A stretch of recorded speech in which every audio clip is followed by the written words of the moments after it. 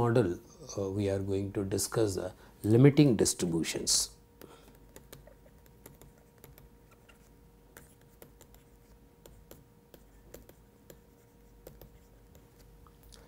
So, we cover three uh, important topics. Uh, first topic is called uh, modes of convergence and the second topic uh, we are going to discuss uh, we are going to discuss law of large numbers and the third topic which we are going to discuss that is a very important topic uh, that is central limit theorem in this model we are going to discuss uh, these three topics as three different lectures. In the first lecture we are going to discuss uh, modes of convergence. Second uh, lecture we are going to discuss law of large numbers. Third lecture we are going to discuss central limit theorem. The first lecture is on modes of convergence. Till now what we discussed uh, the probability space, probability of an event, then we discuss the conditional probability of events, then uh, we have introduced a random variable, then we discuss the CDF of the random variable, then based on the discrete type or continuous type random variable we discuss the probability mass function, probability density function. After we introduce one random variable in a probability space, we have discussed the distribution in the form of a CD of a density function or mass function. Later we said one random variable is not enough to solve some particular problems. You may need more than one random variables to be defined in the same probability space to solve the given problem. Then we introduce uh, two random variables, then we discuss the CDF, we discuss the joint probability mass function, we discuss joint probability density function, then later we discuss the conditional probability density function, conditional probability mass function.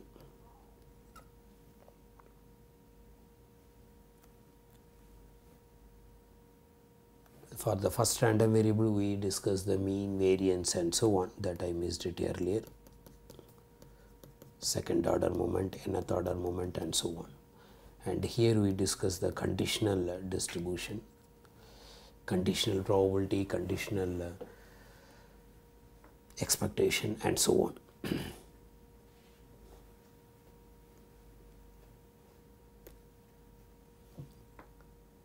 Not only two random variables, then later we introduce uh, n random variables in the same probability space. Then we discuss the joint distribution of n dimensional random variable. After that we introduce the transformation from one dimensional to another uh, n dimensional random variable or r dimensional random variable and so on.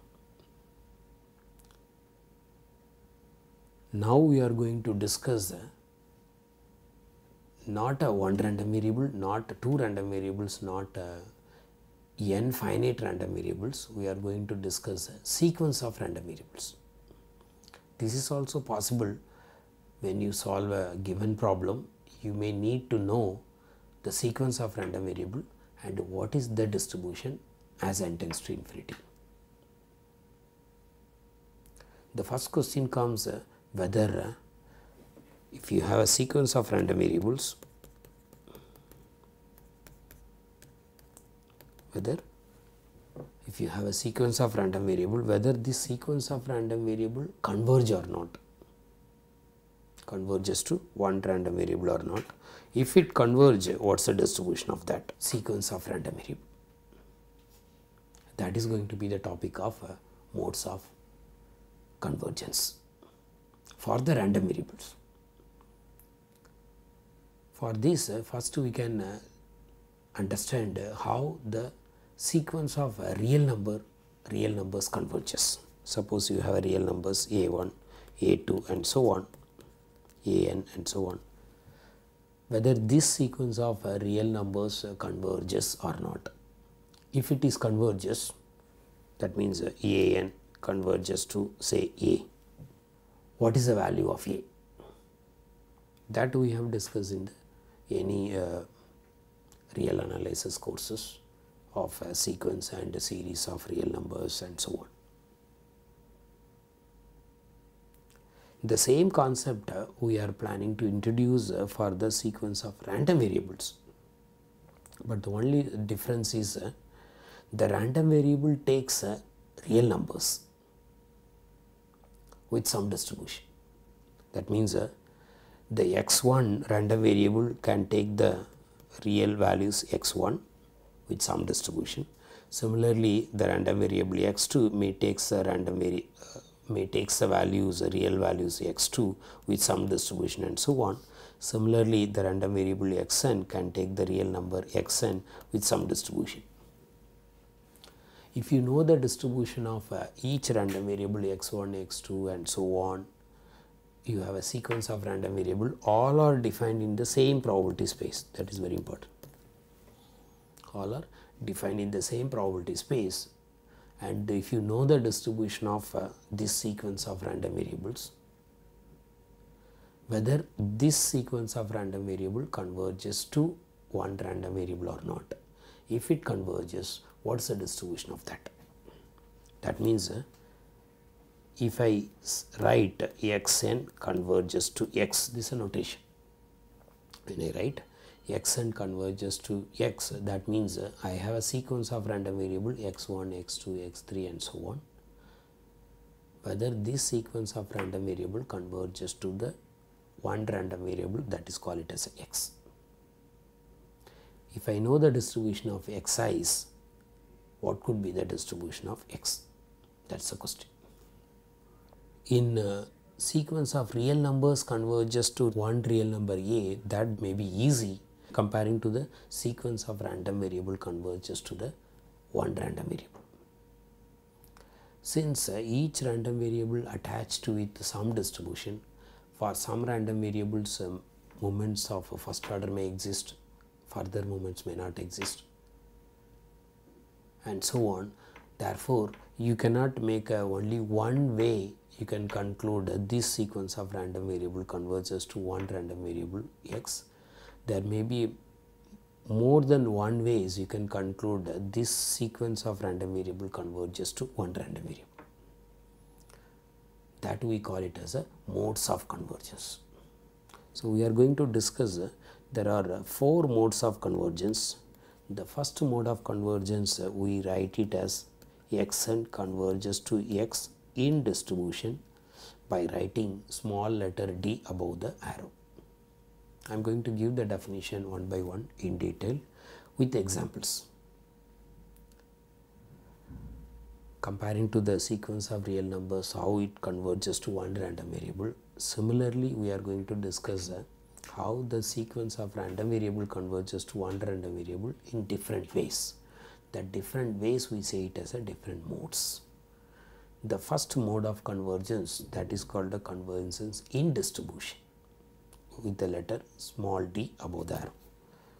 The second one that is a convergence in probability. The third one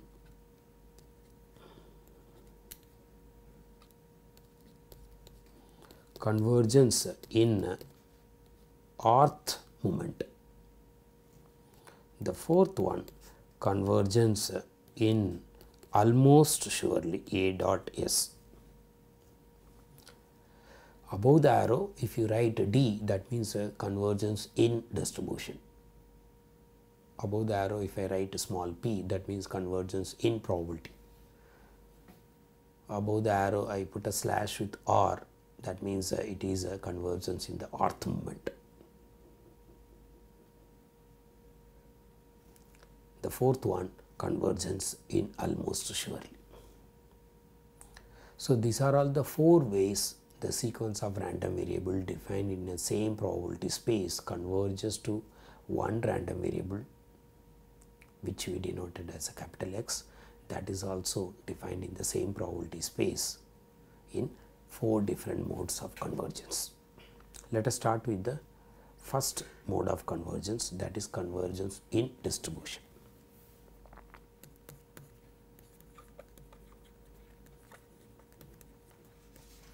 in distribution.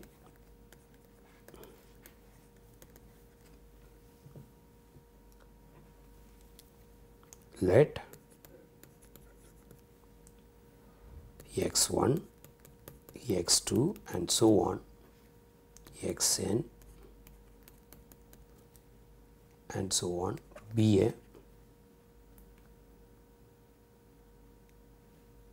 sequence of uh, random variables with CDF, F1, F2 and so on, Fn respectively. That means uh, the random variable x1 has a CDF F1, the random variable x2 has a CDF F2 and so on all these random variable defined in the same probability space. We say that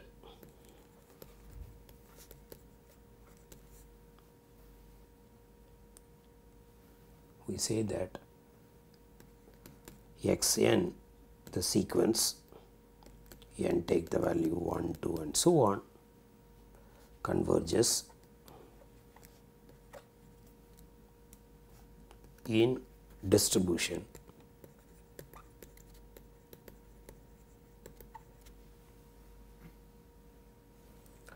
To the random variable denoted by capital X can be written as x n converges to x in distribution. If limit n tends to infinity f n of x that is same as f of x. For all x where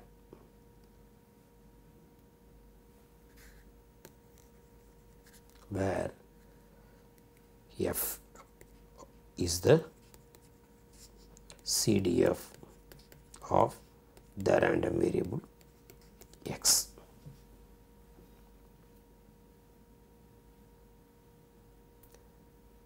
As long as the limit n tends to infinity, fn of x is same as f of x where f of x is a CDF of the random variable x that is valid for all x this condition is valid for all x then we can conclude the sequence of random variables convergence in distribution to the random variable x. Note that uh, f1, f2, fn and so on that is the CDF of the sequence of random variables respectively and that converges to a function that is the CDF of the random variable x then we can conclude uh, this convergence in distribution to the random variable x. Let us give a, one simple example through that we can understand the definition clearly. Example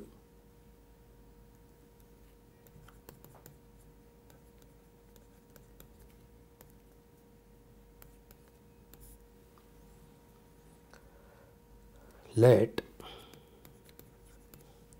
omega f capital P be a probability space.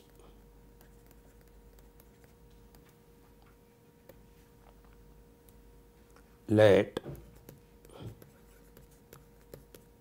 xn n is equal to 1 2 and so on be a sequence of uh, random variables defined on the probability space omega fp. That is defined as xn is defined from omega to r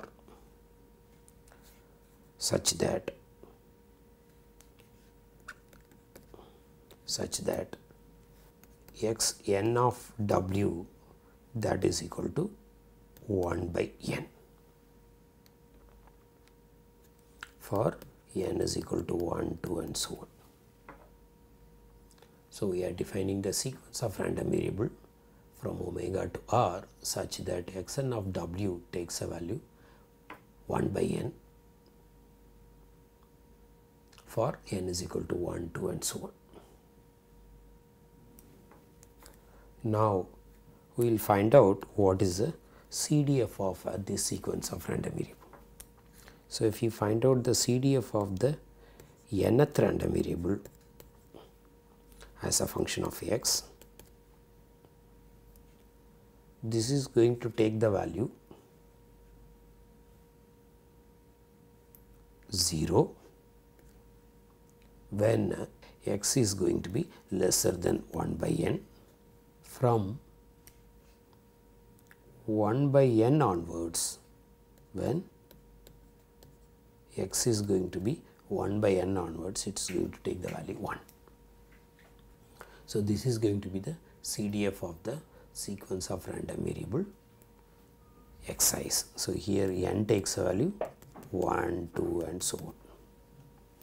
Now, let us go for finding the limit n tends to infinity of f n of x. What could be the value as limit n tends to infinity for the f n of x. This is going to be 0 when x is lesser than 0 because as n tends to infinity of 1 by n that becomes 0 and 1 from 0 onwards.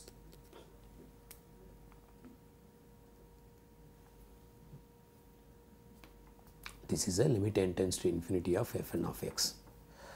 Suppose I denote this as the f of x. Suppose suppose I make f of x that takes the value 0 when x is less than 0, 1 from 0 onwards. Verify whether this is going to be the CDF of uh, some random variable. It start from 0, land up 1 and so on. It satisfies all the properties of a CDF. Therefore, this is the f of x is the CDF of some random variable you denote it as a capital X.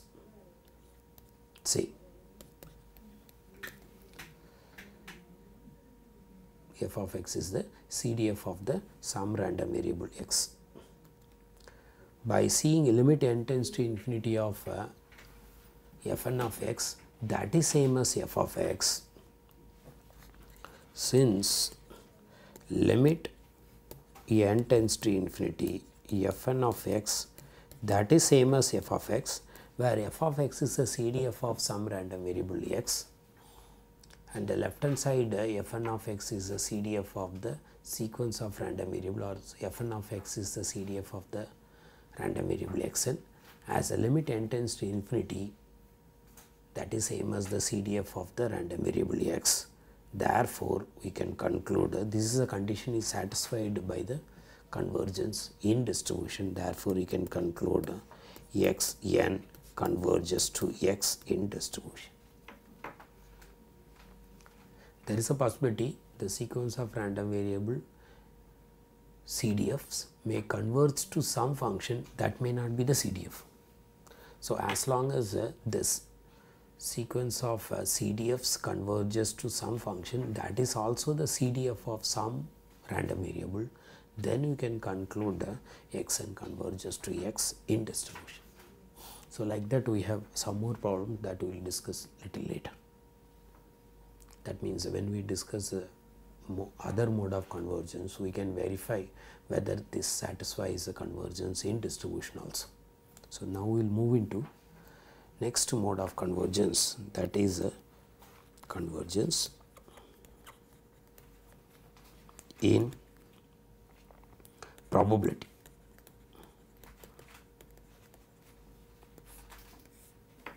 Let x1, x2, xn and so on be a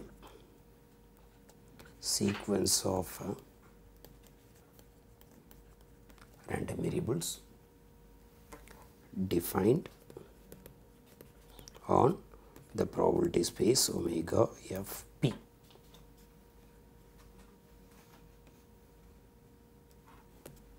We say that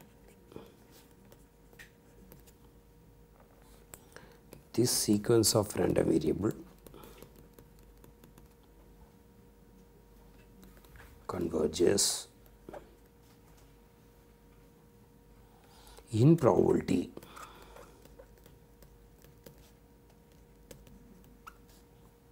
to the random variable capital X. And write it as xn converges to x in probability. If for any epsilon which is greater than 0 limit n tends to infinity the probability of absolute of x n minus x greater than epsilon that is equal to 0.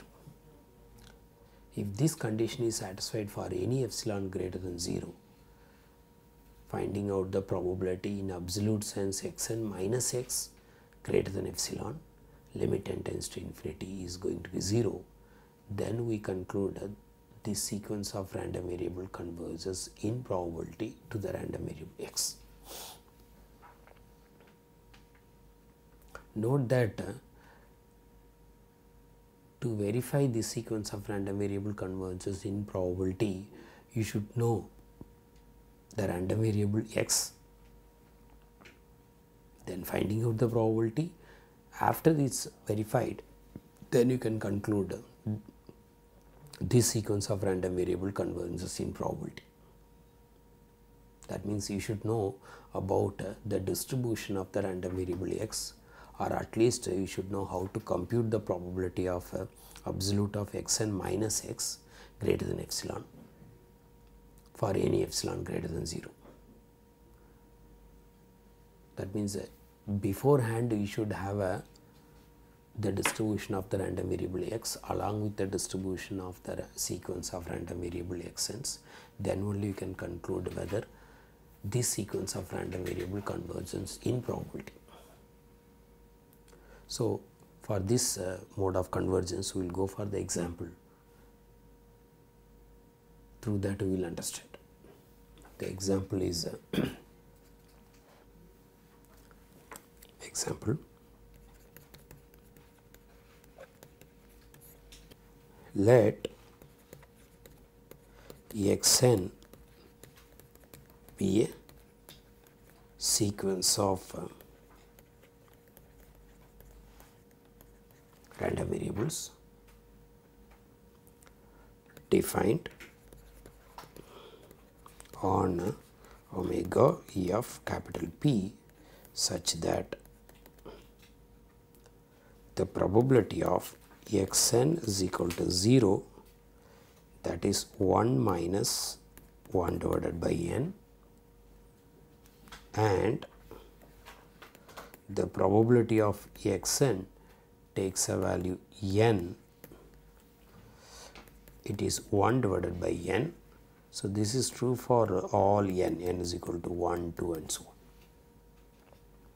We have a sequence of random variable whose uh, distribution is defined xn takes a value 0 with the probability 1 minus 1 by n or uh, xn takes a value n with the probability 1 by n. That means uh, this sequence of random variables are of the discrete type which has the two points 0 and n are the mass points either the mass is at 0 or n for the nth random variable and you have a sequence of random variable n is equal to 1, 2 and so on.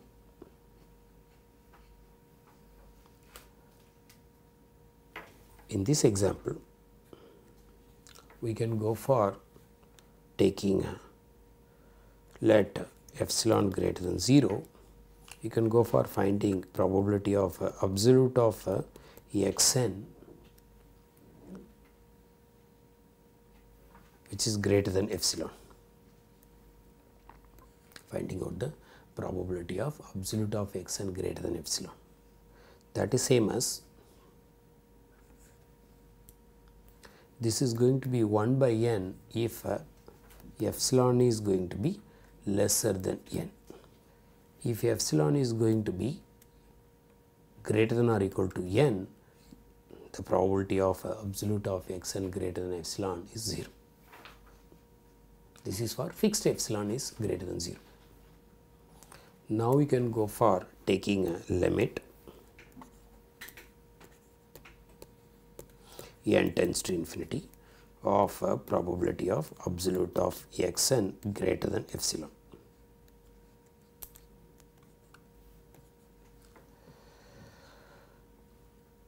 As limit n tends to infinity, this quantity is going to be, the right hand side is going to be 0.